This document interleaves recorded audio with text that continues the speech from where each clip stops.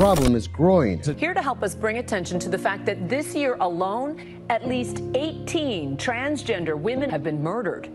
It's not just murders. Countless more of my trans brothers and sisters have survived brutal attacks. It's a subject deeply personal to me as someone fighting for transgender visibility, with many in my community wondering. We have been told to be silent for too long. We have been told that we are not enough to parents, to family, to lovers, to Johns, to organizations, to schools, to our government, to the world. And the truth is, is that we're more than enough.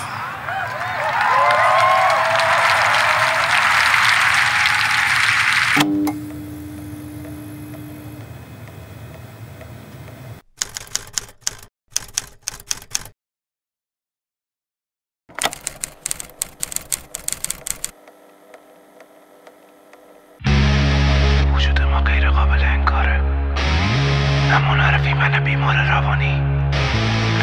نگاهتون سنگینی می‌کنه روم. نه من مجرم نیستم.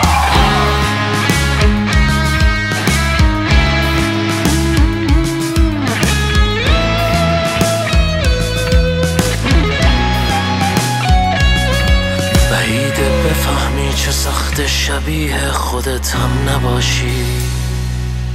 توی کهکشون با یه عالم ستاره سیاه چاله باشی. شبان غماتو بریزی تو قلبت تا از هم بپاشی. جهان از نگاه هم مثل یه تئاتر با یه ژانر عجیبه. نمایش رو صحنه است تو بازیگری که با نقشش غریبه. همش میگی شاید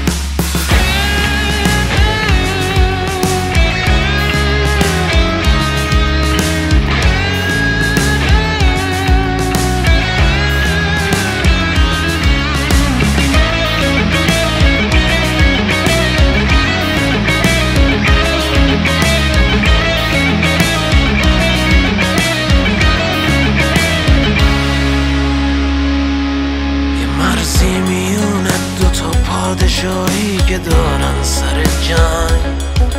تضاد تو با تو مثل آب و آتیش مثل شیشه و سر روح توی جسمت یه تبعیدی باشه یه تنهای دلتن مثل یه پرنسس اسیر تلسم یه جادوی شومی. دو چهره که حتی قرار خودت هم ندونی کدومی.